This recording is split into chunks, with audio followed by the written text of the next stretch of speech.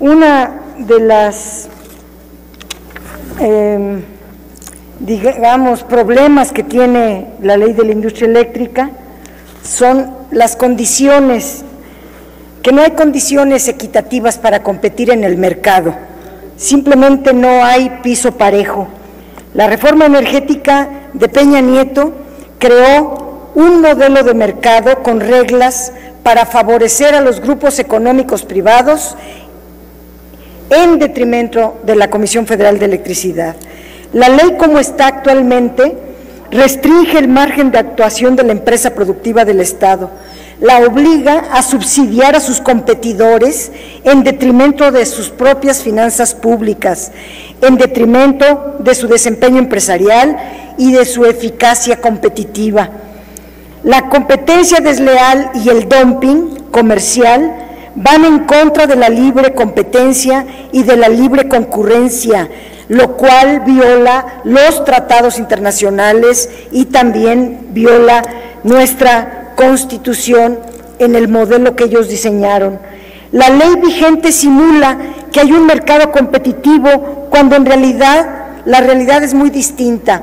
Las empresas privadas, al contrario de la CFE, están autorizadas para realizar todo tipo de transacciones, entre ellas el comercio intrafirma, los contratos bilaterales, el comercio de certificados de energía limpia y el ofrecimiento de precios subsidiados.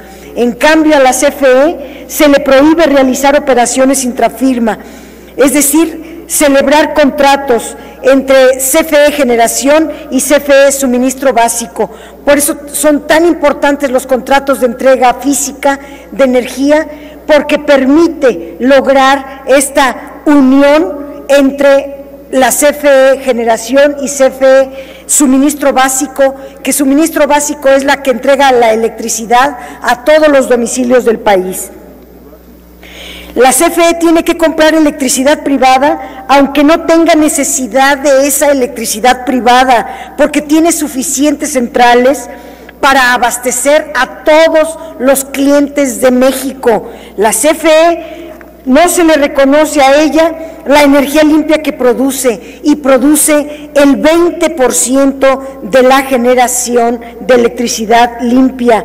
Eso lo hicieron con la única finalidad de obligarla a comprar los certificados de energías limpias para que las empresas privadas hagan con estos certificados un negocio redondo metiéndolos a la especulación y al mercadeo vergonzoso. Esa es eh, el ambientalismo que conciben los neoliberales, andar traficando con los certificados de energías limpias.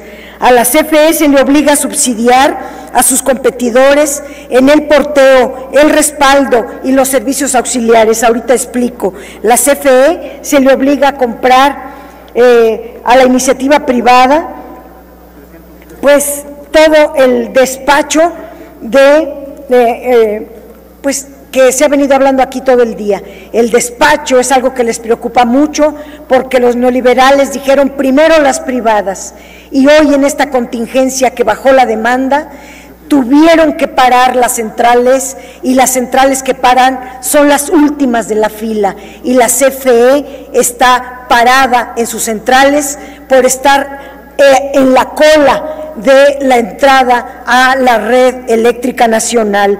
Por eso es tan importante cambiar este, eh, pues este orden de entrada a la red se está subsidiando el porteo estampilla. El porteo estampilla es, no importa dónde está la central, hay que llevar la electricidad. Si está en Nuevo León, hay que llevarla a Yucatán. A los privados no les importa porque ellos no la pagan.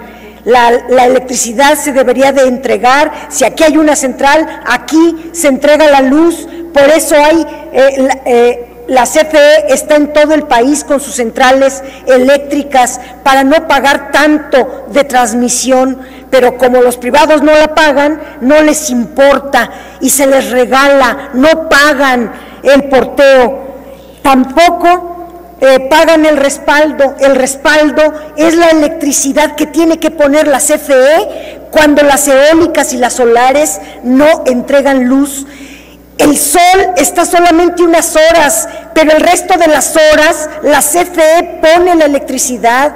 El viento puede estar de un momento sí, otro no, pero la CFE tiene que estar las 24 horas viendo, previendo que a esas eh, centrales no falte la electricidad, pero todo eso cuesta, el respaldo cuesta mucho dinero al Estado y no lo pagan las eólicas. ¿Qué baratas van a ser? Dicen que son muy baratas porque el sol no cuesta y el aire no cuesta. Nos creen retrasados mentales como si el sol se metiera a la red de electricidad y llegara a nuestra casa y entonces no cuesta nada. Eso es absurdo, eso es ridículo, cuesta demasiado el respaldo y estas centrales por cada megawatt eólico o solar, la CFE tiene que poner otro de energía firme. Por cada megawatt intermitente se pone un megawatt fijo y es una relación 80-20. Las eólicas y solares apenas dan la electricidad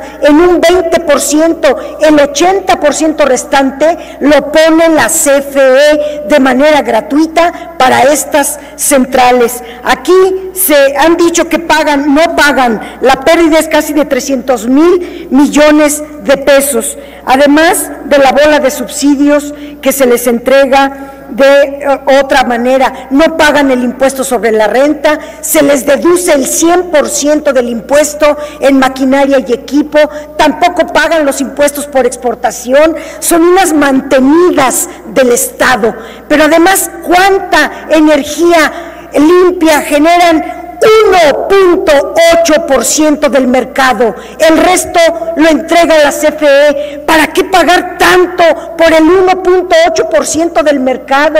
Ciertamente que hay que ir promoviendo estas energías. Véanse los eh, cómo está funcionando Alemania, Francia o Japón en el tema de eólicas y solares.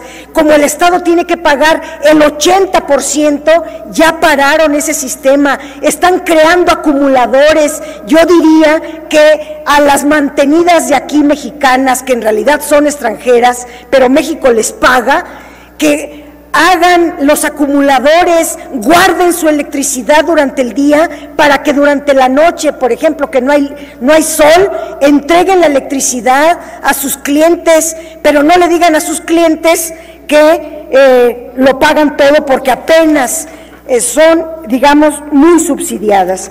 Quiero pasar rápido a, otro tema muy importante, que es la, los contratos de entrega física.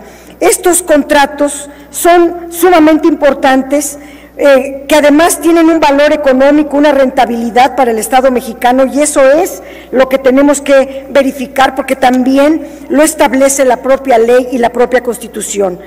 Eh, diría que las... Diputada Padierna, su tiempo se ha agotado. Sí, me ajusto al tiempo. Gracias, retiro mi, mi reserva.